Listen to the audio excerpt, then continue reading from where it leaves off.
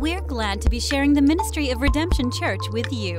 Now join us as we receive the Word of God.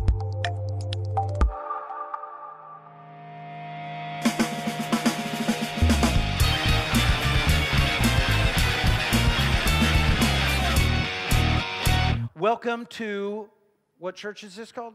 Redemption. Redemption Church. We're very glad to have you with us.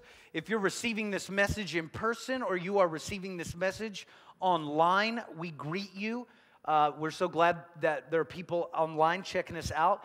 Talk to people on the interweb all the time. They call us, they text us, they leave messages on YouTube, all of that. We're so thankful to have a, a relationship with them and to be sharing Jesus with the rest of the world. We want you to know that whether you're in this room or not, God has amazing desires for you. Amen. We believe that wherever you are, wherever you are. Uh, we're in our unexpected series.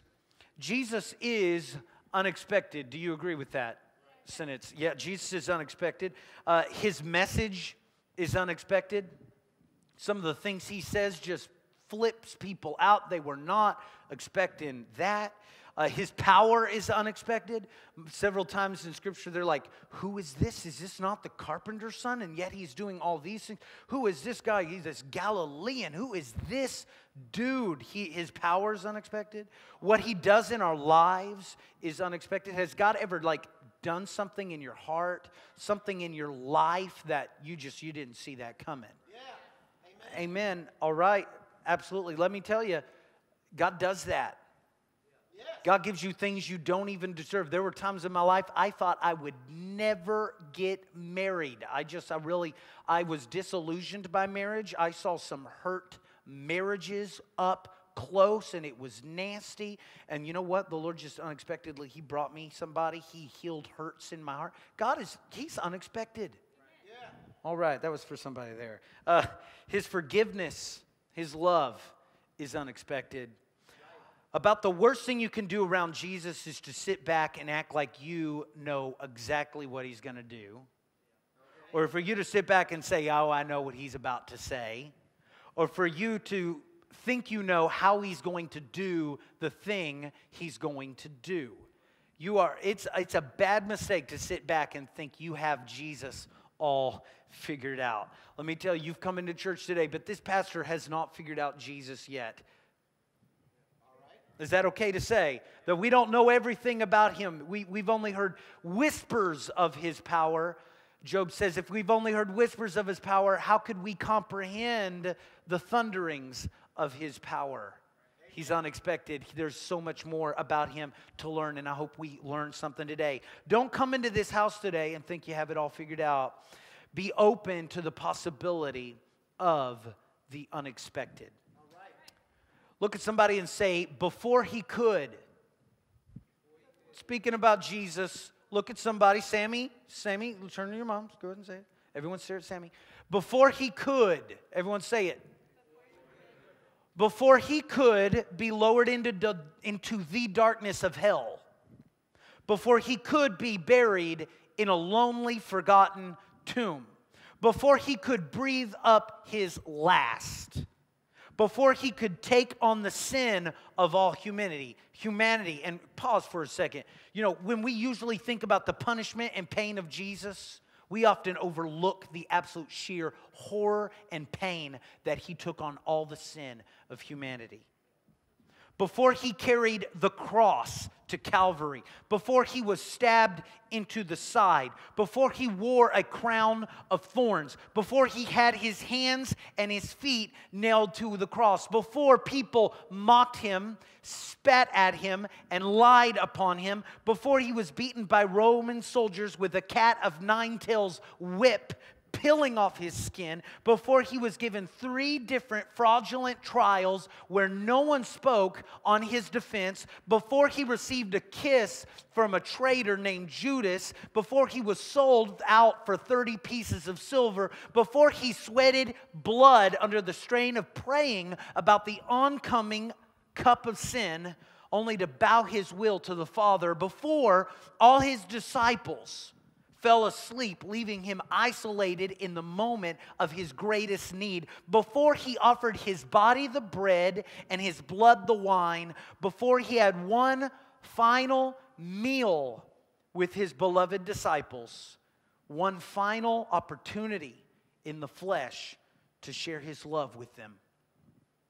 Before any of that could begin, something halted the proceedings. Because we know all that stuff's important, right? Yeah. Something stopped everything dead in its tracks. Something, he, we can't move on until something is fixed because something was left undone. We're going to read about it in John chapter 13, verse 1. It was just before the Passover feast. Jesus knew that the time had come for him to leave this world and to go to the Father. Having loved his own who were in the world, he, not, he now showed them the full extent of his love. Verse 2 The evening meal was being served. Verse 3 So he got up from the meal, took out his outer clothing, and wrapped a towel around his waist. After that, he poured water into a basin and began to wash his disciples' feet, drying them with the towel that was wrapped around him. When he had finished washing their feet, he put on his clothes and returned to his place. Do you understand what I have done for you? He said. So, church, do we understand what Jesus did here? With so much that needed to be done, right? About 80, 90% of our worship songs are about what's about to come in this story the cross, the work of salvation, loving us, dying, buried, raising again. All the proceedings had to stop right now at this moment to take care of something left undone. Feet washing. You're like, what, what did I just walk in today? We're talking about feet washing. Yeah, we're talking about washing yo feet. Feet washing, it's a necessary function in the ancient world. They walked on dusty, dirty, manure filled streets. Gross gross stuff. And when coming into a house, they would surely provide a place in every house for someone to clean their feet. And when coming into a very special occasion, especially when you are the guest of honor and people have worked to put this place together in this time together, you would not only provide a place for them to wash their feet, but you'd probably provide a servant to wash their feet for them. There is a spiritual aspect to this foot washing, but sometimes we get over spiritual on stuff. Can we just say, hey, there is a physical, very earthly, everyday aspect, a physical function to this washing of the feet? It's a common courtesy, it's a common kindness, it's a common service. Do we understand what Jesus was doing right here? And do we understand that this is actually Jesus' last meal with his disciples before he takes on the hardest thing ever? You get that picture? Do you realize how much this meal meant to him? He tells us in Luke chapter 22, verse 14. When the hour came, Jesus and his apostles reclined at the table. You see over here, we got a picture of the Last Supper, this mural over here, and they're all standing. Actually, in Middle Eastern uh, culture, they would lay down on their side. And they would actually be at the level of the table, lay down on their side. So they're like kicking back at the table. They reclined at the table, verse 15. And he said to them, He says these words, look at it. I have eagerly desired to eat this Passover with you before I die. This was a moment Jesus had thought about. This was a moment, this is not like, well, now we'll do this and then what, you want to go see a movie later. No, this was the thing right here. This was the celebration that he held near in his heart. He eagerly desired this moment with them. For I tell you, I will not eat it again until it finds fulfillment in the kingdom of God. So when we say it's his last supper, we mean it's his last supper until we are in the kingdom reign with Jesus. Jesus had sent Peter and John. Everybody said Peter and John. He sent Peter and John to take care of the preparations for this special meal. And they had the location, and they had the food, the meal, all of that was prepared. This should have been a party like celebration, especially since everybody in Jerusalem's going crazy about Jesus. We just had the whole palms being thrown down and everyone crying, Hosanna. This should have been just an absolute party celebration. Oh man, we, probably tomorrow this guy's going to be crowned king of this great nation of ours. Let's celebrate.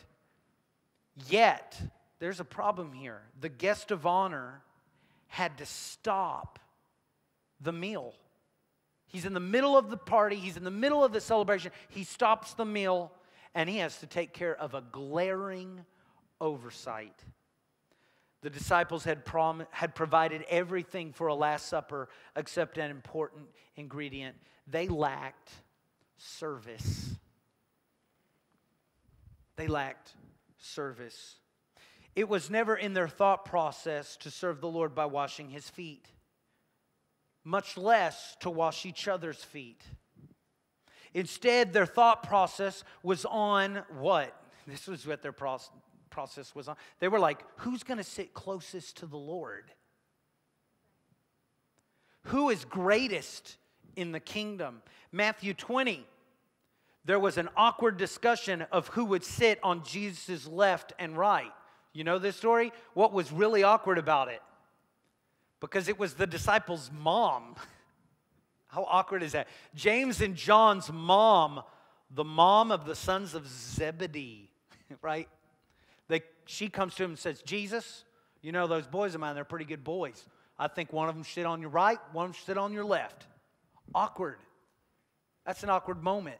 But it shows you what they're all thinking about, what they're all talking about, what they're all expecting.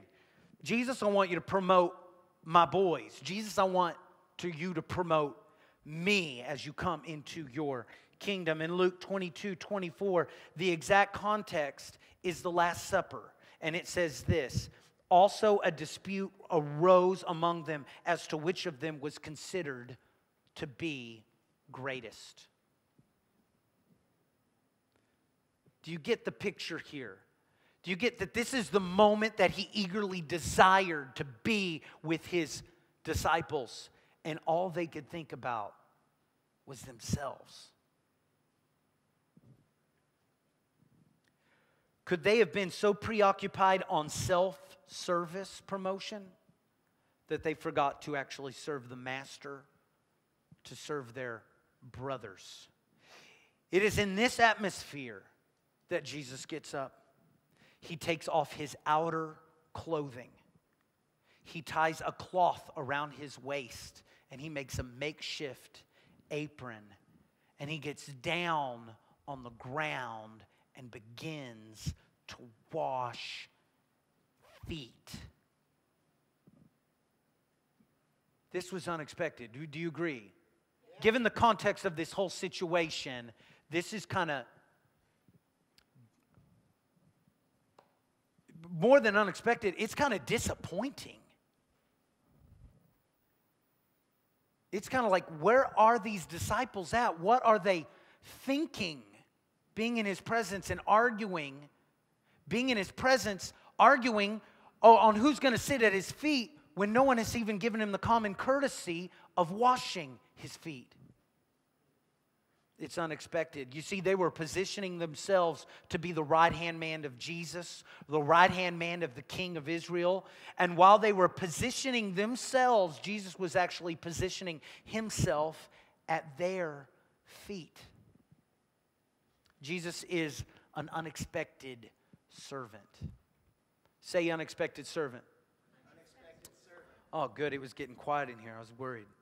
Think of all the wonderful titles we sing about Jesus in worship. Somebody just shout out some titles we sing about Jesus. King of Kings, Emmanuel, God with us. What else? Lord of Lords, Prince of Peace, Man of Sorrows, Son of God, Son of Man. What else? He's got the name above all names the Redeemer, the Savior, my healer. We sang most of these things just today. Now, can you think of a song that rejoices over this title? Foot washer. It makes me want to write that song, Rick. Would you sing it? Would you sing that one? I have to tell you, I think most churches would go, hate this song. Foot washer. I can't think of one. I can't think of one that even comes close. In fact, I tried to take a time to really think about some modern worship songs that talk about Jesus being a servant to us, loving us in this way. It's hard to think of that. We're so focused on how he's the king and we're close to him. We aren't very different from these disciples, are we? He's the king and we're his right hand people. He loves us. Remember that Jesus stopped the very important proceedings. Are those proceedings important? Sure, you bet they are. But he stopped it. He would not move past this moment when he saw something so important being left undone. Before he could go to the cross, before he could purchase and redeem us from sin, before all the important, necessary things he would accomplish, it was necessary for him to take on the form of a servant. A lot of people know Isaiah chapter 53. It is a messianic chapter. If you read this chapter, you can't help but understand they are talking about Jesus thousands of years before he walked the earth.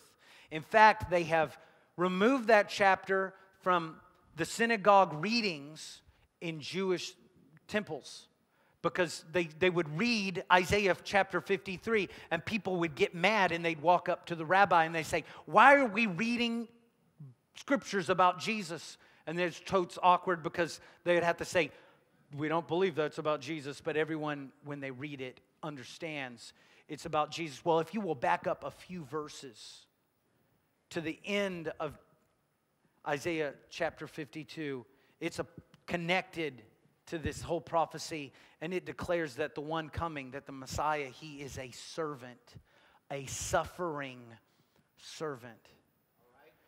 And it, it's, it, it's really amazing Israel missed the suffering servant because they were looking for the coming king. But if we're not careful, we do the same thing. We always talk about the coming king, but we do not worship the suffering servant. We do not allow him to really cleanse us and really wash us, and we don't allow him to teach us how to do that to his body, the church. We too want to be at the right hand of Jesus. Do you want to be at the right hand of Jesus? If you say you don't, wake up. You ought to want that. It's not wrong to want that. It's not wrong to say, God, I want more of your power, more of your glory, more of what you have for me. I want to be somebody you turn to and trust in. I want to be that person. We want to see Jesus do amazing things in our life. But can I tell you, before he will. Look at somebody say, before he will. Could it be that before he will answer some of your prayers, before he will transform your church, before he will bring revival to your city, to your nation, before he will heal your physical, emotional, and spiritual scars? Could it be that before He will bless your family and your personal life, could it be that before He will use you like you are desiring Him to use you, could it be before any of this should begin, something is halting the proceedings? Could it be that something is left undone in your life and he's like, Whoa, There's so much more I want to do, but we got to take care of this right here before we can move on. Maybe we are missing a necessary ingredient.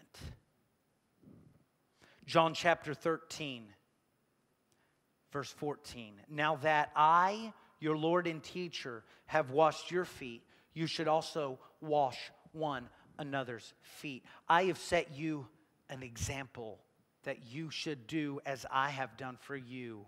Now that you know these things, you will be blessed if you do them. So Jesus has set us up an amazing example. And then he proclaims this If you do as I have done, now that you know these things, and if you do them, you're going to be what? Blessed. Say it louder. You're going to be what? My gosh, do you realize that every like pastor evangelist on TV says, You're to be blessed if you buy me a car, right?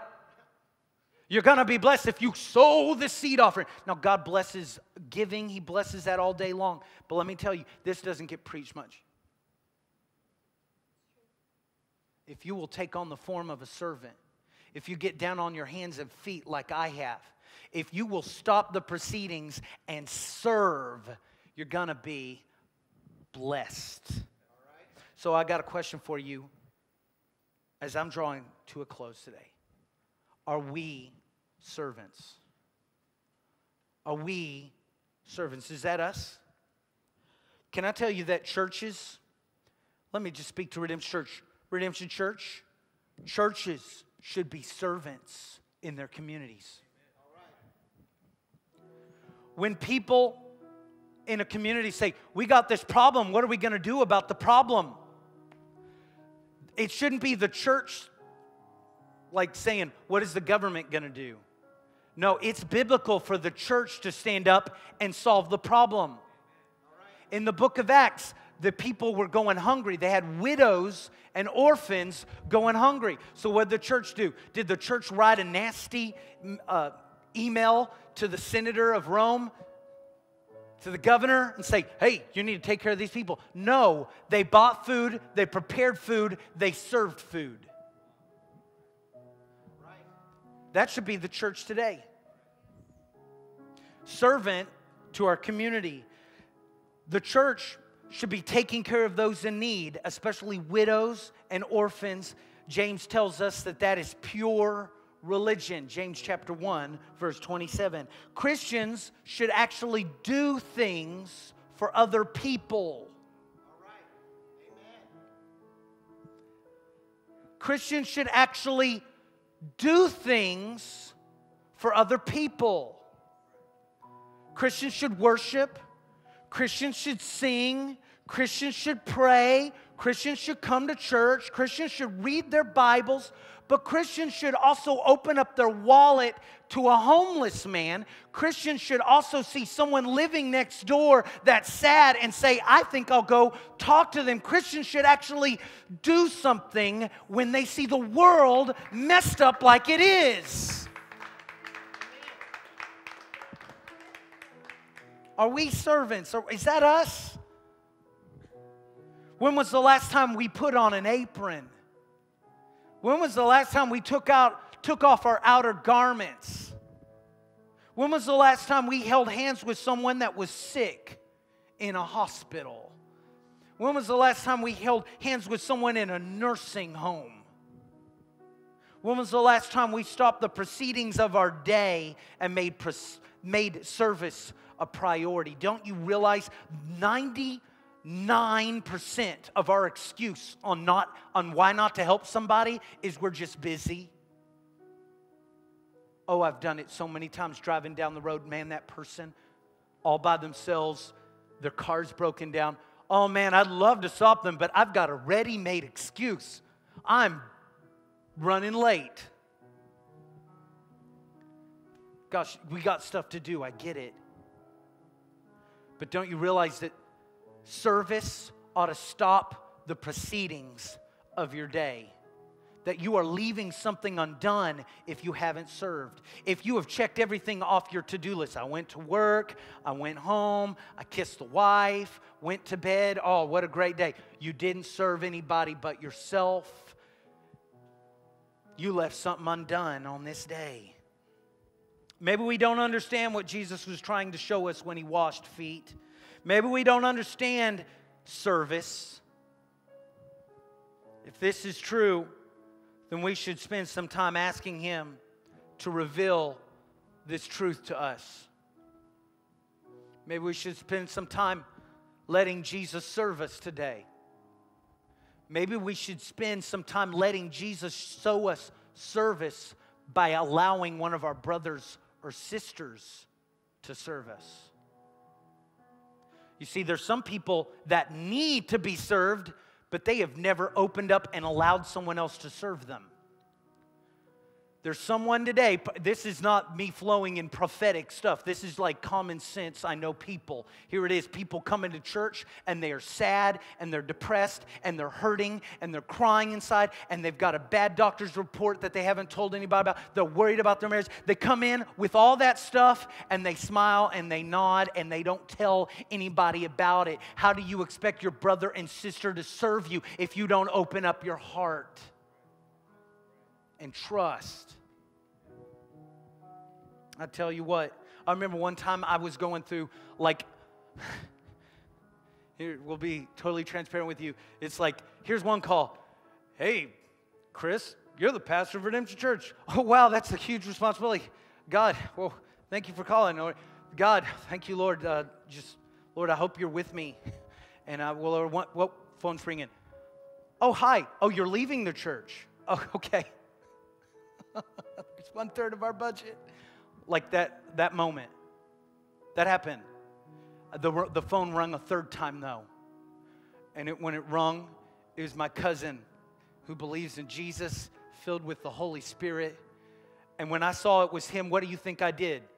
Oh man, I'm doing okay. You know, everything's going all right. No, I answered the phone like this Pray for me right now. I'm hurting and I'm scared and I don't know what's going on. Would you just, right where you are, you're calling me because you're my brother in the Lord. Would you pray for me? No shame in that. No shame in that. Absolutely no shame. And I felt Jesus come right there. In the moment, it would have been really missing it had I put on a happy face like everything's going well and not everything falling apart. You got dirty feet that need clean, Chris Fluitt.